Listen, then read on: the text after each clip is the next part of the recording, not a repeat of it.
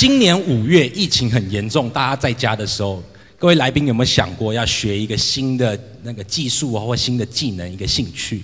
可能是煮个饭也好，还是学一个新的乐器也好。而各位来宾有想过要学习跳绳吗？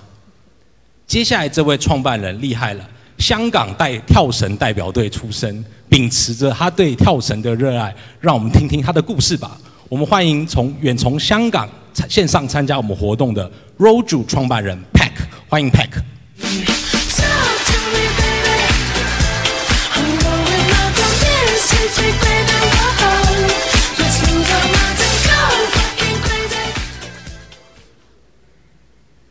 大家好，我是 Pack Roll 的创办人，我是一名跳绳国手以及个人世界冠军，而且创办了自己的跳绳学校已经六年了。相信大家小时候都有接触过跳绳，但是大家还有用跳绳来运动吗？跳绳是一种非常高效能的运动，燃烧的卡路里比跑步多出两倍。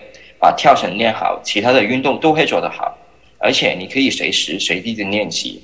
但是你知道如何利用跳绳作为训练吗？这就是我创办 Rouge 的原因。Rouge 是现实世界第一个跳绳的健身 APP。让所有人都可以利用跳绳进行有序、有效的训练。我们专业肯定可以把最有系统的训练带到所有人的口袋里。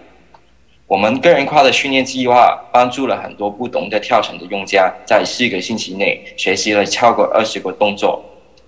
我们的 business model 是订阅制以及电子商务。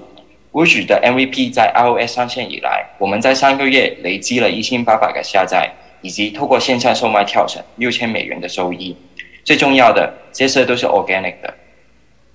这些影片都是我们收集了全球用户在练习我们 APP 内的花式组合。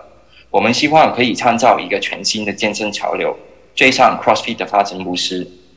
在下年到，我们将会推出线上实体跳绳课程以及教练证书，让我们的专业更有系统的发展。我们正在寻找商业伙伴，希望在台湾发展。如果你有兴趣的话，请联络我们，谢谢。